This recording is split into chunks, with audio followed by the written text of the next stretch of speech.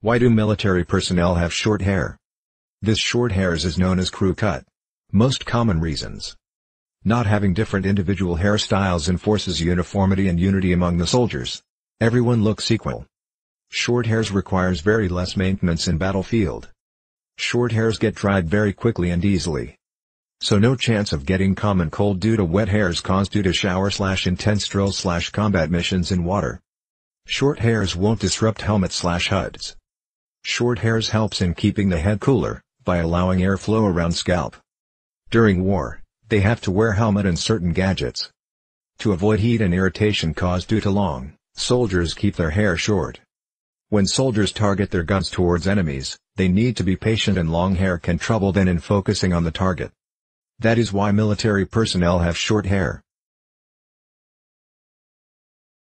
Like, subscribe and click bell icon for more updates.